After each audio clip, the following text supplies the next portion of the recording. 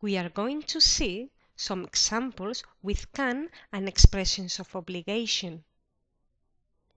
So if someone asks you, would you like to go to the cinema this evening?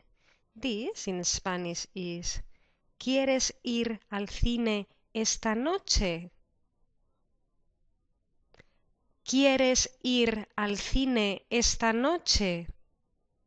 Then, if you cannot do it, you will say I can't because I have to study, for example.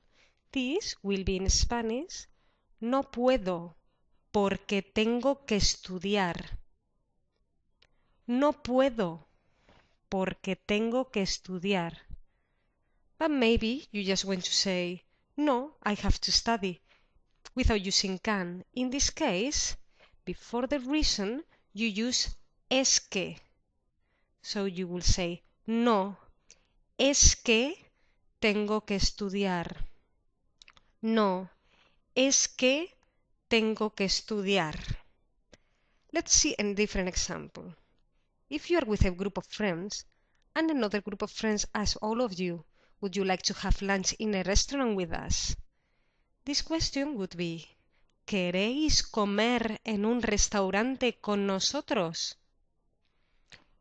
¿Queréis comer en un restaurante con nosotros? You could just say if you cannot. We can't because we must clean the house, for example. This in Spanish is no podemos porque debemos limpiar la casa.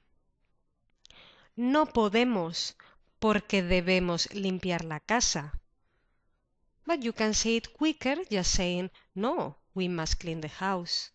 In this case, because you just say the reason, you put before es que. This will be no, es que debemos limpiar la casa. No, es que debemos limpiar la casa. If someone asks you, would you like to play tennis with me tomorrow? This is, ¿quieres jugar al tenis conmigo mañana?